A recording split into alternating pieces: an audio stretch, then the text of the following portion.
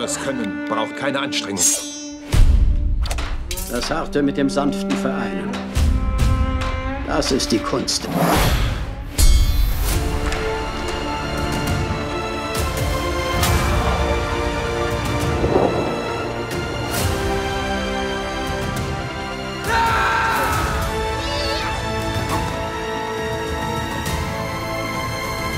In unserer Welt des Kampfes gibt es lauernde Tiger und verborgene Drachen.